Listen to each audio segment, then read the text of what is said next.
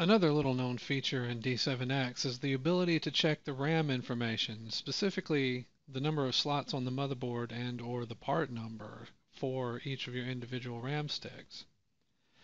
Currently you can access this by going to the internal menu and RAM info, although this may or may not be present in the future. You can always click on the actual amount of system RAM in the status window at the top.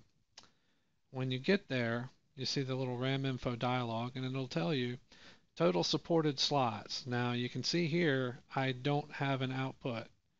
This is just blank and it is sometimes.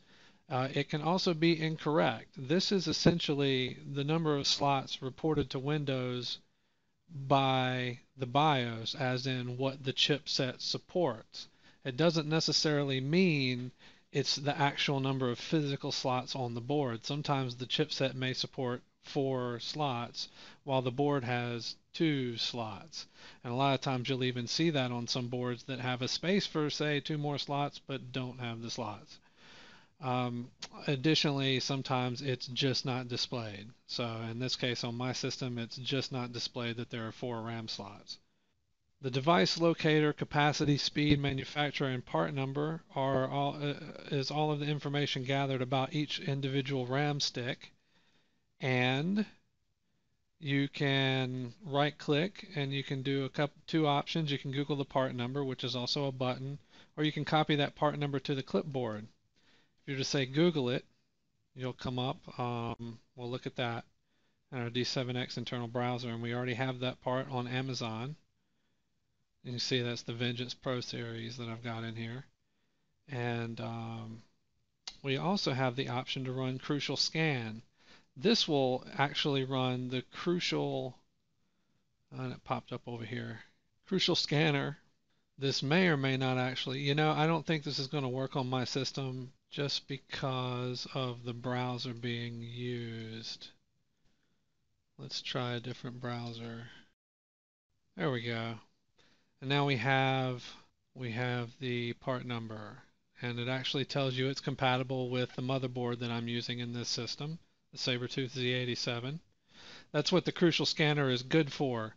Uh, I wanted to point out the Crucial uh, Scanner just because, uh, well, not only does it give you um, information about the board that you're using and uh, gives you exact part numbers and you can purchase the RAM.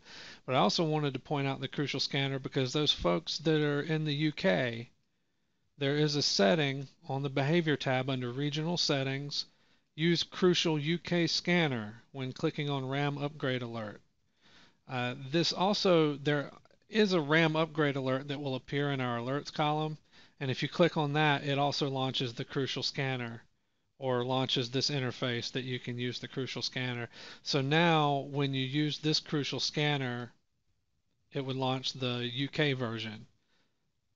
Folks in Australia, I'm not really sure what to say. I would imagine you would use the UK version, but to be honest, I'm not certain.